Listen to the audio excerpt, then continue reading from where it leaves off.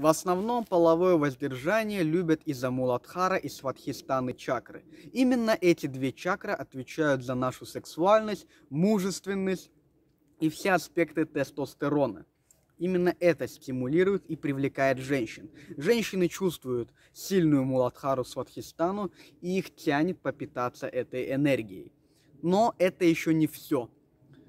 Э, дело в том, что если ты хочешь быть более осознанным и тонким существом, Муладхара и Сватхистана чакры не должны быть сильнее, чем твои верхние чакры. Это Агния, Сахасрара, Вишутха, Анахата та же самая. Анахата это сердечная чакра. Мы сейчас обо всем поговорим. Посмотрите на некоторых блогеров и просто понаблюдайте, допустим, с 2012 года за ними до 2018 и 2020. Я вам приведу пример, я надеюсь, он не обидится. Денис Борисов. Есть такой блогер Денис Борисов. И в 2012-2013 году, когда он рассказывал про бодибилдинг, он был достаточно мускулистым, потому что был на стероидах. У него была борода и такой темный цвет кожи. Была видна вот эта вот сила Сватхистана и Муладхары, да, в нем. И он был полезен, он там делился своим информацией, своим опытом. Сейчас же он стал лет на 6, на 7 старше. И он выглядит лет на 12 младше. Он стал более мальчишеским. В том числе и я. Че я далеко иду? Посмотрите мои первые видосы. Посмотрите видео, где я рассказываю про привлекательность на воздержании, где я рассказываю, воздержание круче стероидов или нет. Там я здоровый кабан, хотя я не на курсе. Там у меня борода более густая, там у меня голос более мужицкий. И я и тогда воздерживался, я и воздерживался сейчас. Просто сейчас я направил эту энергию наверх, в более тонкое состояние своего ума и своего сознания.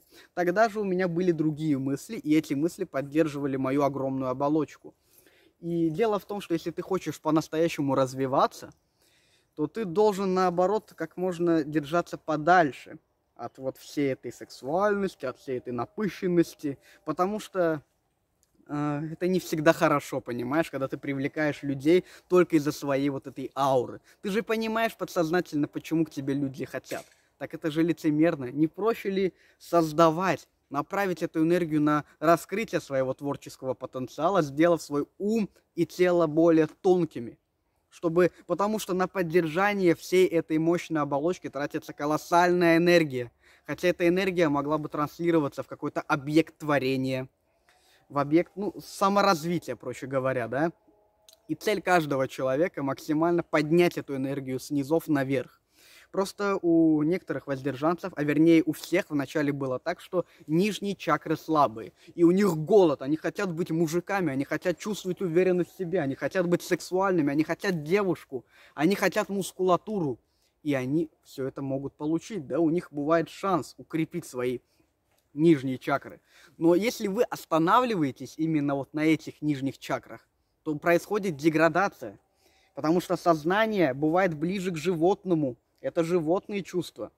Когда ты поднимаешь, когда ты берешь вверх над своим животным сознанием, тогда тебя можно считать осознанным человеком, а уже дальше душой, которая пришла в этот мир развиваться, что-то новое познавать и чувствовать себя частью всего этого огромного замысла.